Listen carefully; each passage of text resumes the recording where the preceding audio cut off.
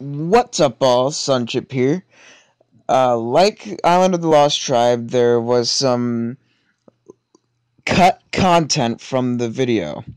One was because I didn't want them in, and the second one was I couldn't really find any way in to put them in, I should have said.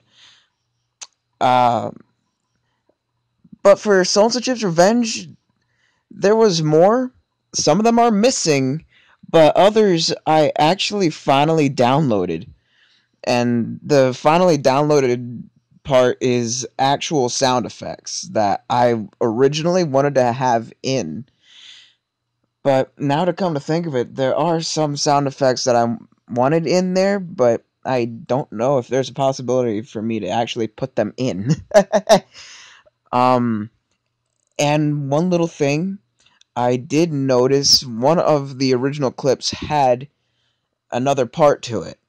So I'm going to squeeze this in as well. So that said, I hope you enjoyed what was once missing content from the video itself. Alright, see you in the next video.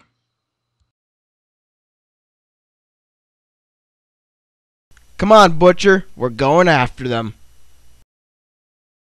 I'm taking a closer look at these cars. This can't be. There's only one person I know that has this kind of car. What? Now, if you excuse me, I have some important business to do. Like saving Lisa? By not following me. You're crazy. You're trying to kill us, which means you're trying to kill yourself. That's just great pitchness. How are we going to get in then? Fluffy banana.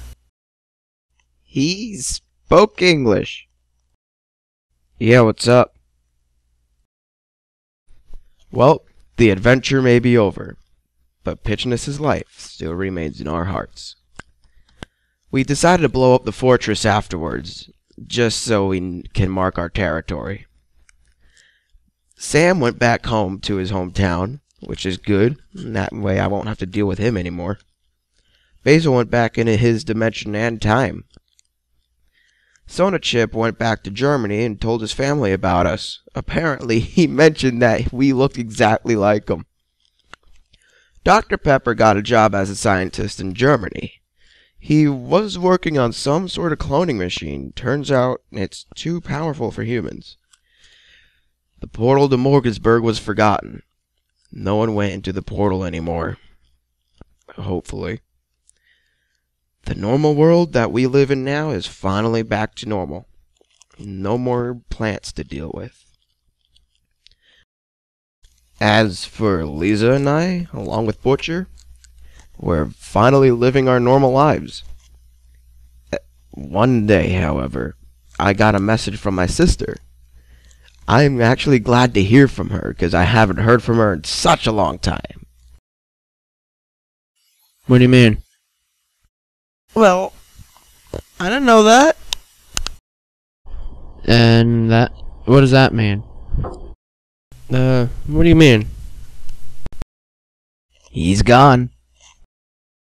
It's probably best not to. Sunchipp, can you do me a favor? My time has come to an end.